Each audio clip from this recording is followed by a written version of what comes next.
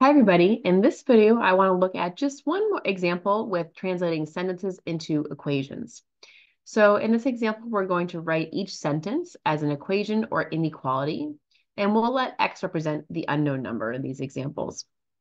So the change here is, or I guess the, the key thing here, I should say, with equations is looking for that key word. So there's different uh, words we can use there for equations, but the most common one and the one you'll probably see again the most often the most frequently is the word is.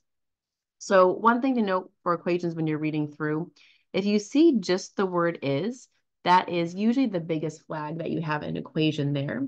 Um, but there's also other words as well. Of course, if you see something like um, is equal to or is uh, the same as that also would mean equal. Um, sometimes we'll use the word like yields. So the result yields know, this particular answer um, or something like that. So there are definitely a few keywords here that we can look through um, and think about when using uh, equals as well. And these are just a couple of them. So here it says the quotient of 20 and a number is 5. Now, quotient we know means division, so I'm going to be thinking some sort of division going on here. Remember, for division and subtraction, order does matter um, because they are not uh, commutative, meaning you cannot just interchange the order of things. So we do have to be really particular for subtraction and division problems. And then I see another keyword here is. And again, if it's just an is, that is a flag that that's going to be an equal sign. For quotient, I'm going to do this in order. Again, there's really no other keywords happening here, just as the quotient of 20 and a number. So I can write it like this. Uh, the quotient, meaning I'm dividing 20 in a number, is equal to 5.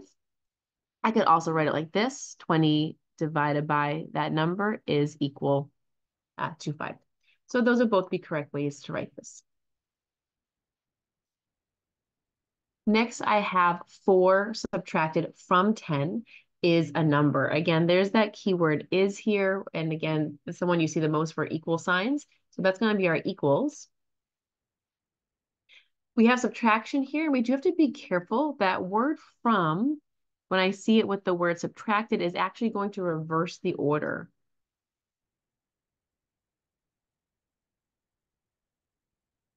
Um, the other word that this happens to as well is than.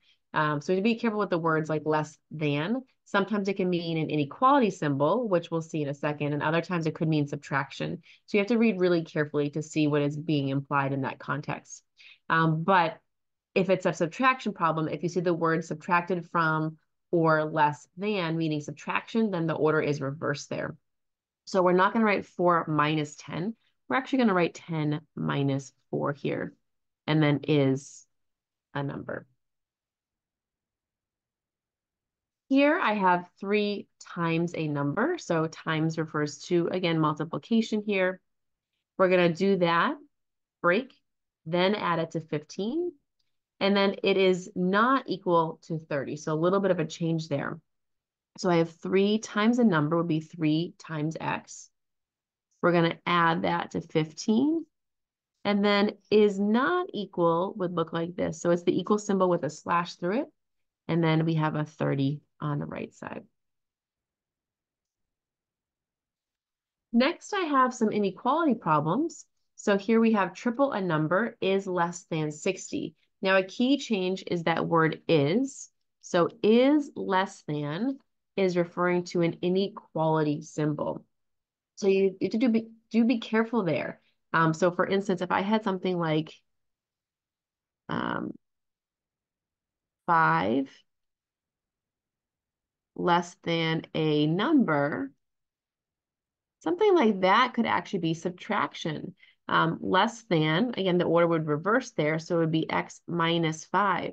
Notice the difference here is is less than versus less than. So it's very subtle changes. You have to be really be really be careful um, what the problem is trying to tell you. So is less than typically is an inequality sign instead.